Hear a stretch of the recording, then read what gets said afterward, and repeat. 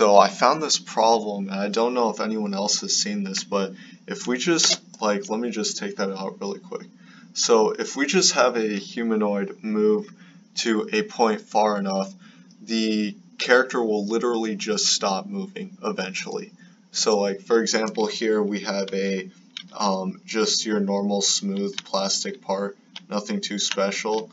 Uh, we have a black brick that represents um, represents where the end position should be. So over here, as you can see, the position is 21.4, 40.594, and 2, 2.2 um, XYZ. So if I copy that and I go back into the test and I paste it into this vector, as you can see I already pasted, but let's just paste it again for good measure. If I paste in here, uh, the non-player character or the test uh, car I guess that's what I call it, which is right over there. Alright, so here is the test character. So this test character is supposed to walk to that black brick.